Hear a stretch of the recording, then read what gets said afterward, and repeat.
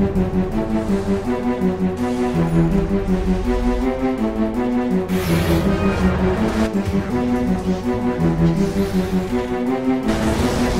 back.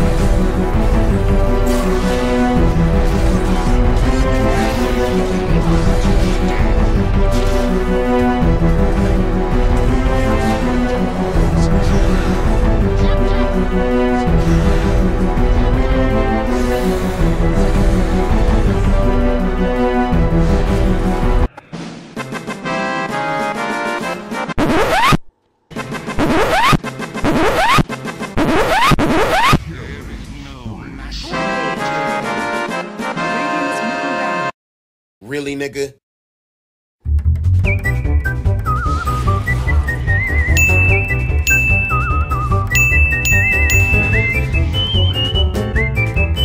Hey, fuck you, man!